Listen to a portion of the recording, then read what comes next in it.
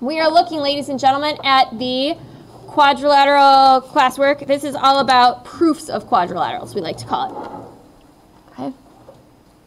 So, we're going to set up a coordinate for four vertices on the given parabola. So, you guys might not be able to see it, but this point right here says A0. And this point right here says B0. This point right here says 0C. Okay? So we want to know what point M, I, T, and E are. What all of those points are. Okay, so right here, this is MM. Can somebody tell me what do you think the coordinates are for MM? Give me a guess. MM. M right here. What is the x coordinate? What's the y coordinate for it? Zero, zero. Good. You guys were like super nervous about it. Okay. It's just zero, zero. Okay, the next one I think is easy as well. What is the coordinates for E? What does this say right here?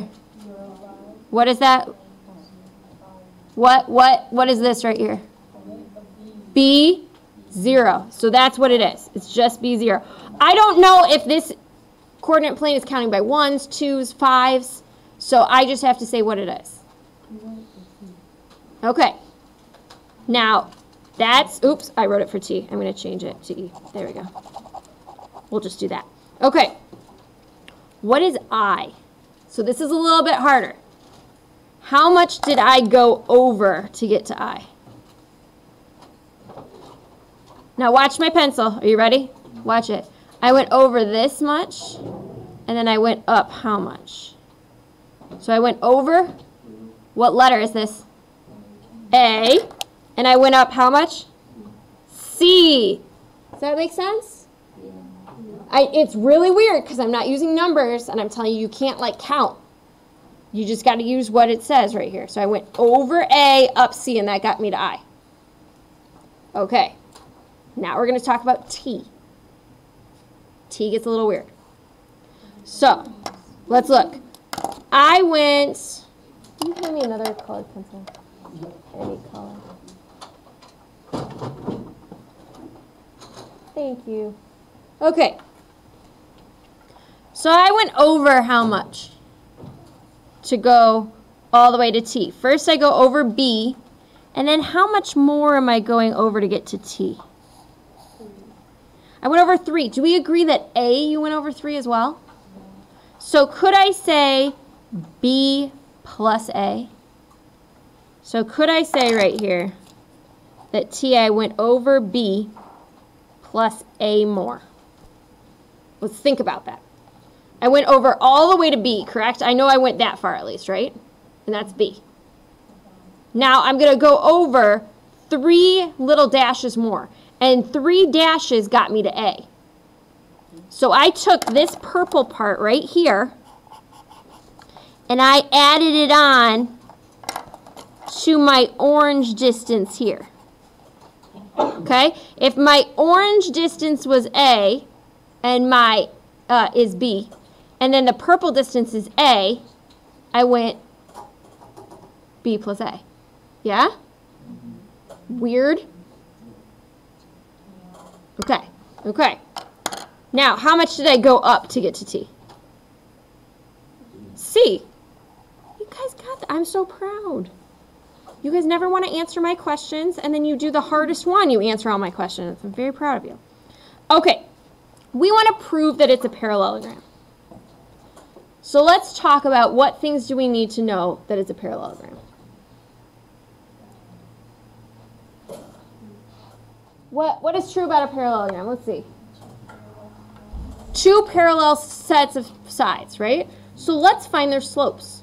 So we're going to find the slope of M to I, and then I to T, and then T to E,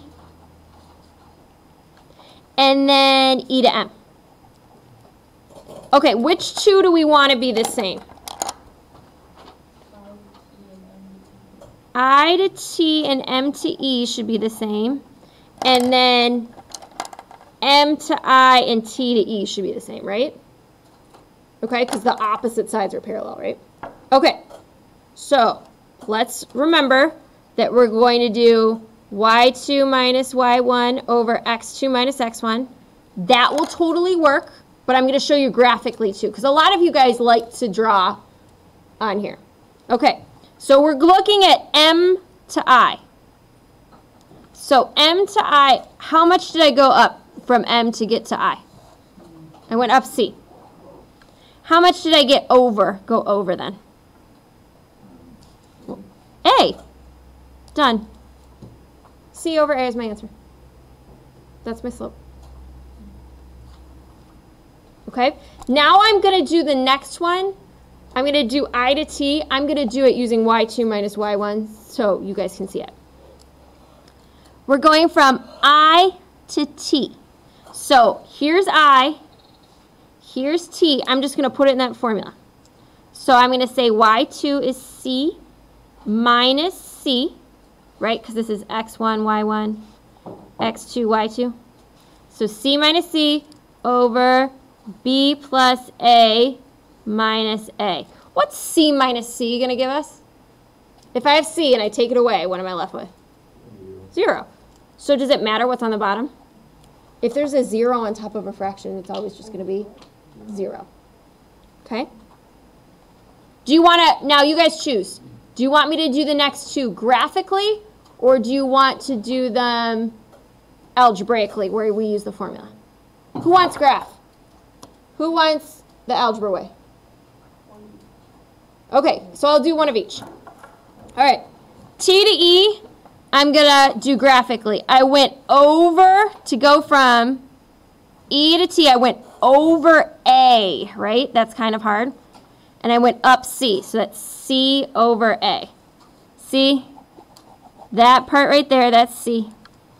This part right here is A, if I'm going to draw my little triangle. Okay? E to M. So E to M, I'm going to go X1, Y1, X2, Y2. And I'm going to go 0 minus 0 over B minus 0 gives me 0. So are these two the same answer? Good. Are these two the same answer? Okay, so opposite sides are parallel. Opposite sides also have to be what to each other? Congruent, nice.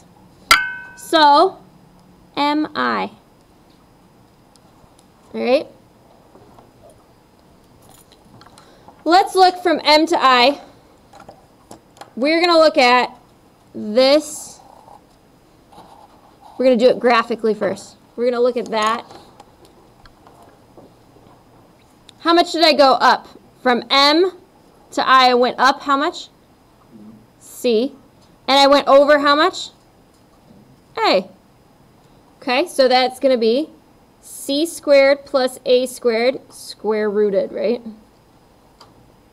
Because the formula is A squared plus B squared equals C squared. So we plug in A and C here.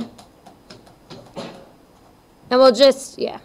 So it's A squared plus C squared equals, um, we'll call it MI this time. MI squared. Have to get rid of the square root sign. So we just put the square root over it. Okay?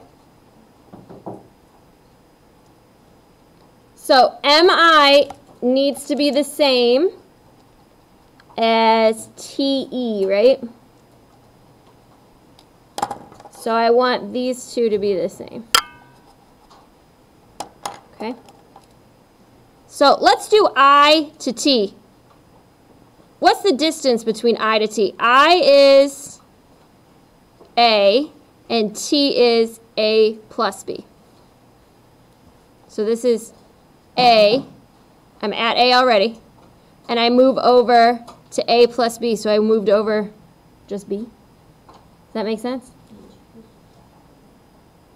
T to E, I'm going to go down C over A. So that's going to be A squared plus C squared. Are these the same thing? Does it matter if we have 2 plus 3 is the same as 3 plus 2, correct? Okay. And so e to b, um, m to e, excuse me, is I went over b, and it shows me right here. See, that's b0. So I went over b. Are opposite sides equal to each other? Yeah. Okay. Define the term for a segment bisector, guys. Define the term for a segment bisector. What does a segment bisector mean? What do I do? What, how, what does bisect mean? Who knows? Cut in half. So it's when a segment is cut in half.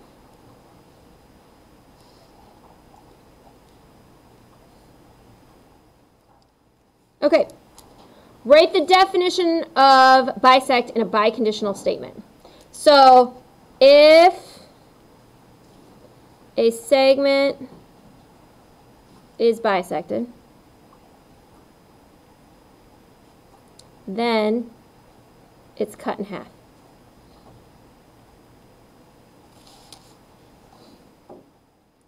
Okay, let's talk about converse would be if it's cut in half, then it's bisected. That's true, correct? So our biconditional statement is a segment is bisected if and only if it's cut in half. See how we just merged all that logic stuff we used with all the quadrilateral stuff we used? That's why we're doing that in this unit. It's amazing. Okay. Prove that the diagonals of a parallelogram bisect each other. What did we use on the quiz to prove that something bisects? What formula did we use? Did we use distance, slope, or midpoint? To prove that something bisects? Midpoint. So that's x1 plus x2 over 2, y1 plus y2 over 2. So let's just use the midpoint formula to find these. We need to find the midpoint of m to t, and we need to find the midpoint from i to e. Okay? So my points for M are 0, 0. And my points for T are B plus A comma C. That's my X1, Y1, X2, Y2. Correct? Yes? That has? Okay. So let's plug it in. If we've got X1, we're going to go 0 plus B plus A over 2 comma, y1 is going to be 0 plus c over 2. So my answer is b plus a over 2, c over 2. That's my midpoint for m to t. Now we've got to do it from i to e. i is ac. e is b0. x1, y1 x2, y2. So let's plug it in. x's are a plus b over 2, c plus 0 over 2, which gives me a plus b over 2, comma, c over 2. Are they the same? Same. So the diagonals bisect. Questions? Yes. Okay, let's talk about why we're doing this in the first place.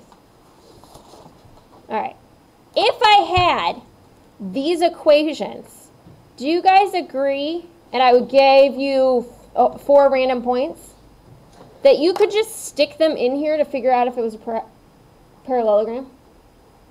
So if I gave you a, four random points, okay, You could instead take those points and plug them in for like C, A, or B, and it would take about two seconds to figure out, yep, that's, it's a, you know, parallelogram or rhombus or rectangle. Okay, so number two is you're going to set up a general square and find it.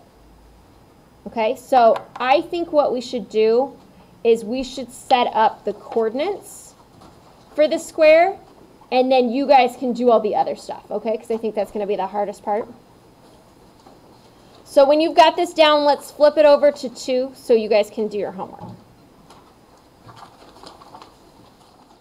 You guys, we need another second for this or we're good? One more second.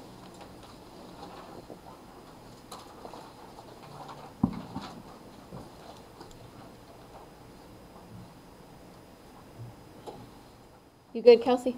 Yeah. Okay. All right, we're looking at number two. We've got our little graph right here. My strong, strong, strong, strong suggestion for all of these guys is for you to put one of the corners at zero, zero. It's to make life a lot easier. So let's say I'm going to put this here. Hmm.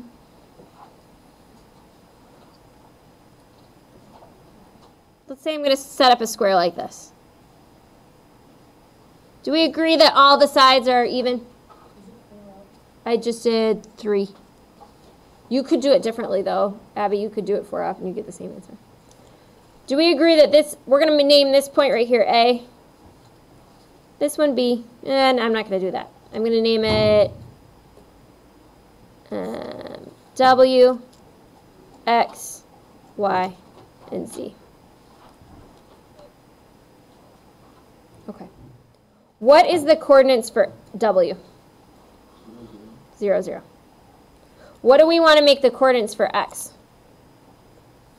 I know the X value is going to be zero, right? I'm going to make the Y value, I don't know, B. Does that sound good? What about for Z?